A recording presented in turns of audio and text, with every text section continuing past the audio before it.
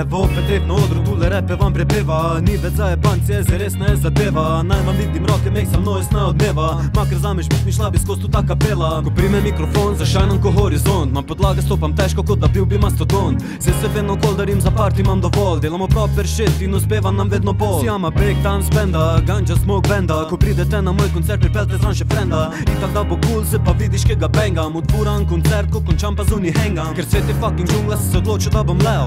To kar fucking hočem, to bom fucking imel. Folk ko dobro me pozna, ve da dolgo sem že utrjen Ker dam respekt in reprezent velenju potrjen Je Dave se vrača, za sestri za braća Vas support mi daje vede da se repat splača. Je Dave se vraća, za sestri za braća Vas support mi daje vede da se repat splača. Dave se vraća, za sestri za braća Vas support mi daje vede da se repat splača. Dave se vraća, za sestri za braća Pokončno gor na odru rime unikatno braća Iščem da se stavim frazu, da mi cash bo kdo nakazu Kar povem je čist realno, jaz ne lažem vaš po obrazu. Čuvam svoja leđa, ko se zuniki pojavim Gledam da life tek se stavim, da se zmurja sploh ne bavim. Še vedno krivom hrbe, ti smo ki mi krije Hrbe gledal skrenu v oči, ko se ti pozdravi to brne. Šov iz slabih pota, cilam da se tja nazaj ne vrnem Spremenil vizijo, sem na svet zenil vse v črne Men se samo gre za stvarjanje lepih spominov Spoznavat nov folk na sto novih načinov. Naučit se kaj na novo, jo prek produktivnih pogovor Zastavljat vprašanja z inovativnim odgovorom. Na to, kar imam v sanju že, ko bil sem malo dete. Imel nešteto sem ideje, sam da se vse posnete Muziko bom stvaril, tudi če snemam na kasete. Nabral sem dosti izkušenj, to živim že dolge